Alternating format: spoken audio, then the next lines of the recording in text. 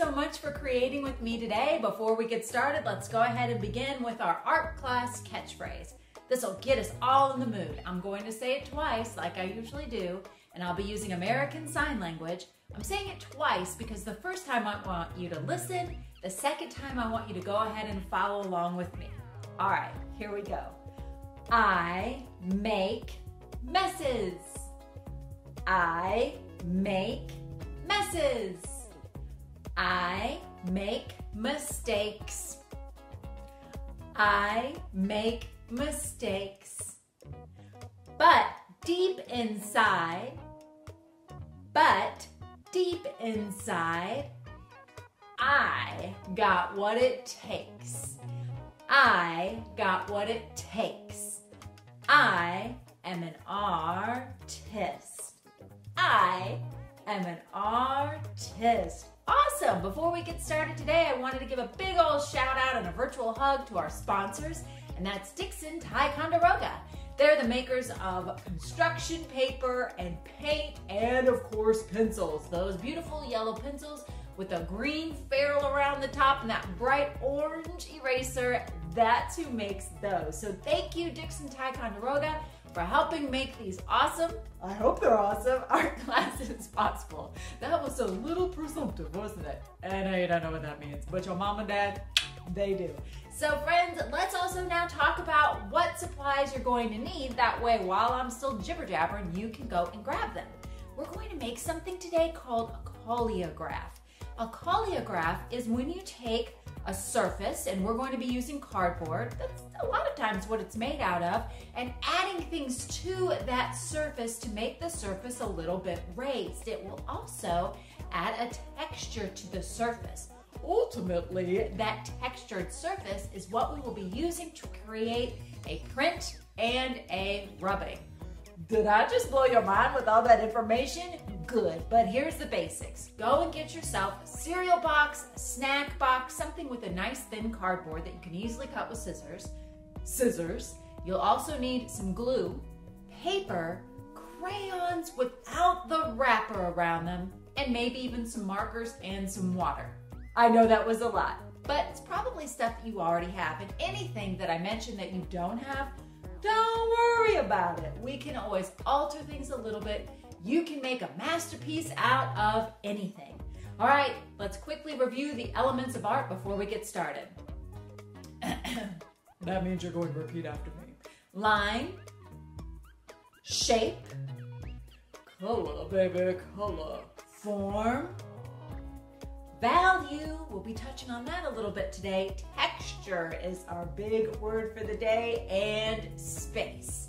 And speaking of our word for the day, why don't we have our word for the day be collagraph?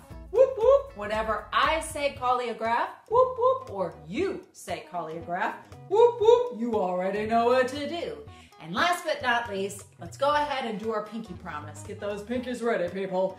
All right. You're about to repeat after me, remember? I pinky promise that no matter what, I will just keep trying. I might have never made a collagraph whoop, whoop, before, and that is okay. I will try my best.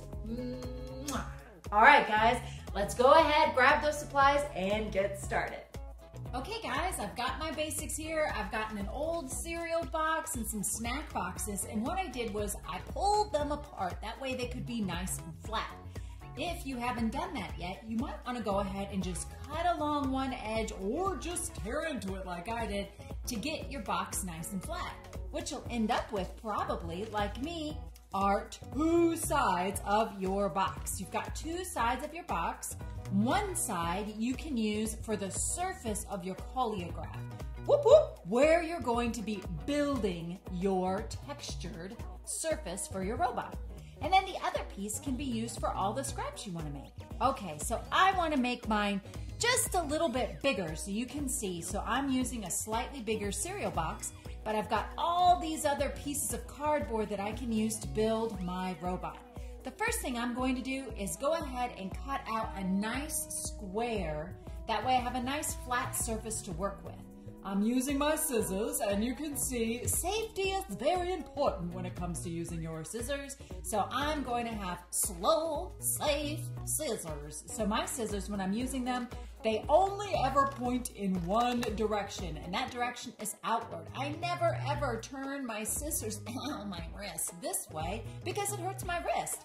Always have your scissors pointed outward that way they're never angled towards you. I'm just gonna rotate my paper this way so I can keep my scissors pointed out.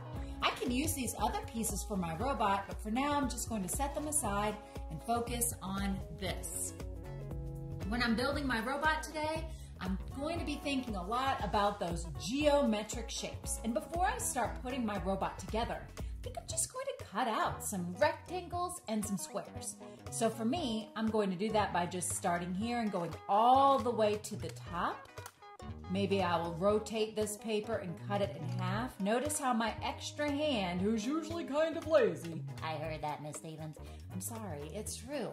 But it's gonna do all the work today by rotating the paper. All right, I've got a couple of good geometric squares there. Maybe I'll turn this one and cut it in half make a long rectangle. This is giving me a nice good workout for my hand, for my cutting hand. I'm not even thinking about what shapes I'll use for my robot right now. I'm just giving my hand a little bit of a workout by cutting. So I'm just snipping away. Maybe on this one, I'll cut some even smaller rectangles. Oh yeah, my hand is starting to feel it. It's sweating already. All right, I'm gonna go ahead and cut this one maybe a little bit of a rectangle there. Now I've got a lot of geometric shapes, but perhaps that are squares and rectangles. Perhaps I'll practice making a circle. Oh, it's a little tougher because the cardboard is thick. Notice that when I cut out a circle, I rotate the cardboard the whole time with my extra hand. That's right, I'm making sure not to turn my wrist as I cut a circle. Watch, I'll go in slow is that annoying enough for you? Because it's really annoying to me, and I'm the one who's actually saying it. All right, I'm just rotating like that. All right, I could even maybe use some of these scrap pieces for something on my robot too. I'll set those aside. So I'm gonna go ahead and focus on practice cutting some more geometric shapes while you do that too. All right, let's think of all of the different geometric shapes that you can cut out. And as you cut them out, remember to keep in mind a variety of sizes small, medium, large. It's actually a really good workout for your hands. Build up those art making muscles by cutting out a bunch of geometric shapes. So keep that in mind, but don't forget to kind of keep them organized. If you do, it'll make putting together your collagraph a lot easier. Okay, now that I have all of my papers organized, my bits and pieces cut out, organized into large, medium, and small, I think I'm ready to start putting together my robot. But something I want to think about is composition or the placement of things. If I just start gluing things down, oh, what if I change my mind? So what I'm going to do is just lay things out a little bit so that I can start to think about what I want mine to look like, my robot collage to look like. All right, let's see. Maybe he's gonna have a head here and a neck there. I need a nice big shape for the body. Ooh, I might need to make that neck a little bit smaller. And those pieces can go right into my small piece pile. There we go. Okay, that's fitting a little bit better. I'm liking that. Let's see. Now maybe he can have some legs. That looks a little bit long. That's okay. I'm just gonna go ahead and cut that. Okay, so maybe he could be standing like this. I think these medium-sized pieces might be good for feet. I don't wanna stack anything just yet. I'm just gonna go ahead and put it underneath, which it won't fit. So I'll just have to cut it and put that in my small piece pile. There we go. Perfect, okay, and I bet I'm gonna have to shorten this other leg. So I'm gonna go ahead and just start laying things out and then decide if I like it or not. All right, I think I like that. He's missing arms. That's a problem. Let's see what we can do. Maybe he's gonna have a little arm here. The other one, he's waving. they can connect like that. And perhaps for the hands, I'll just use a couple of small pieces for his fingers. I can glue them like this. Yeah, there we go. Okay. And maybe some more on the other side. Now, I've kind of got the basics, and you know what? Now that I like the way that it looks, I'm going to go ahead and start gluing. Okay, now that I have all of my big pieces in place, I'm just going to flip them over one by one, draw a little line of glue around the edges. Did you know that if you put glue around the edges, you don't have to put any glue in the middle? No, I'm just gonna draw a couple of lines. Sometimes I even use a dot. You do not need a lot. All right, this piece is a little bigger, so I'm just gonna draw a little rectangle around the edges and put it back in place. Things will tend to move a little bit as the glue gets its grab time.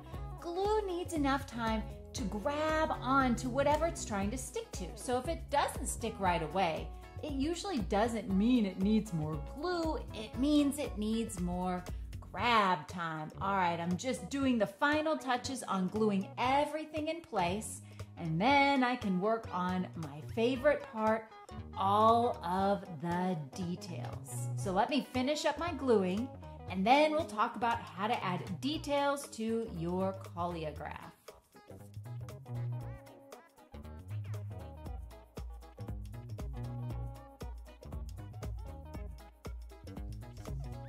Okay, all my gluing is finished. My big pieces are kind of stuck in place. My glue is getting its grab time. Now what we can do is start to think about all of the fun details we can add. So for this, I really will start looking at my smaller pieces. Maybe this circle right here can become a dial. Perhaps this can become like a little keyboard. Again, I might change my mind, so I'm not gluing anything in place just yet. I'm thinking it through. I really need to think about, oh, I think I'll put some designs on his little robot legs I need to think about what do I want his face to look like? What kind of expression will my robot, he or she, have? Ooh, maybe this will become an eye. Yeah, I like that better. But I do, I think, want a dial there. So I think I'll take a moment to cut out another circle or an oval this time, maybe. The more details you add, the more things that you add, this is going to make it look even more amazing. So think about how you can now use all of those small little bits and pieces to start to build up the face and the personality and the texture of your robot. Okay, I think all I'm going to do now is start to add more things and glue these pieces in place. I'm really liking where it's going. Maybe I'll add a couple of more details to the eyes the more things I add, the better. That's why I cut out all these little pieces, right? So I'm gonna go ahead and glue these guys down and I'll show you what we can do to this next. I'm to glue all these teensy weensy itty bitty yellow polka dot bikini pieces in place. Whew, it might take a minute, and just so you keep track of all of the pieces that you need to glue, again, you might want to start at the top and then work your way down. Or you can just kind of lean your collagraph over a little bit, tilted, and if any pieces fall off, then you know those are the ones that need to get glued. Make sure everything gets at least a tiny little dot of glue. Remember, just a dot, not a lot. Okay, now that all the little small teeny tiny pieces and everything else has dried, they're not going anywhere. I'm now ready to do something called a rubbing. So when you're making a rubbing, you're going to need a piece of paper. It can be any kind of paper. I'm using a piece of paper for my sketchbook, but you could also use copy paper or loose leaf paper. You could even use newspaper, might look really cool. I'm gonna set it down over my collagraph. And now I'm going to find some crayons. When you're using these kind of crayons, you wanna make sure the crayons don't have any paper on them. I like to kill these naked crayons. So I'm gonna need a couple of those, doesn't matter what color. I think I'm gonna go with um, purple. Once you've got your crayon picked out to do a rubbing, you'll notice, in fact, you can kind of see my crayon has a flat side, and that's because I've been doing something called a rubbing. After you're finished, you'll have a crayon that has a flat side too. The cool thing is it won't roll off the table. You're going to do a rubbing, which means you're rubbing your crayon on your paper. You will not be holding your crayon like you normally would. You'll be holding your crayon flat so that it's rubbing across the surface of your paper.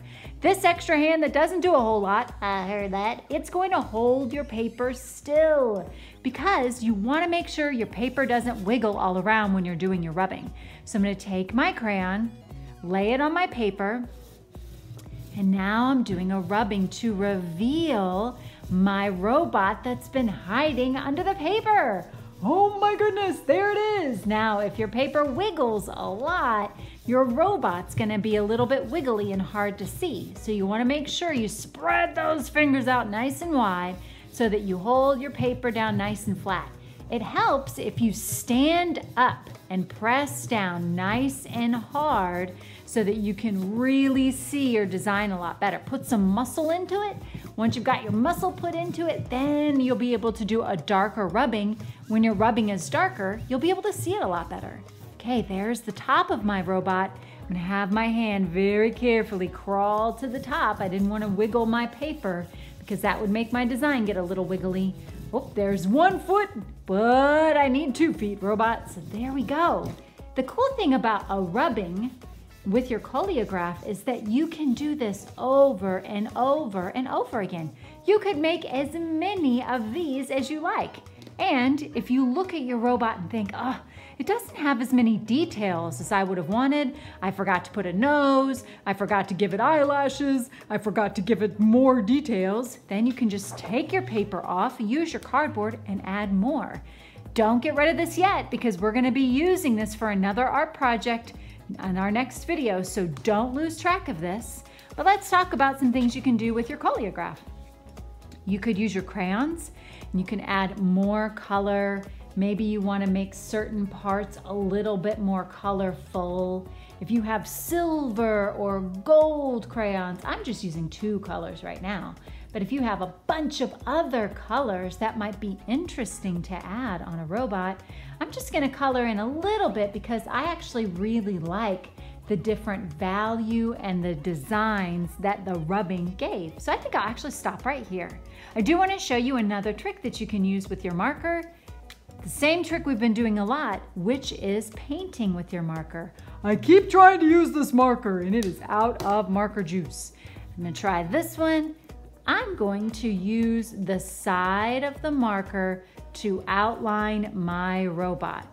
I could do this for just one or two of my prints, just for some variety. I'm just doing something a little different to see exactly what will happen. Art making is kind of like, or it really is, an experiment to see exactly what it is you can do.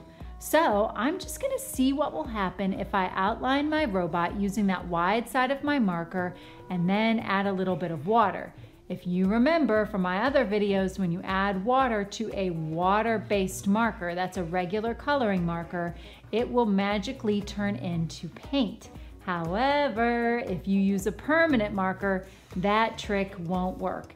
Even if your marker is like mine, where you can tell my marker is starting to run out of marker juice, it's okay.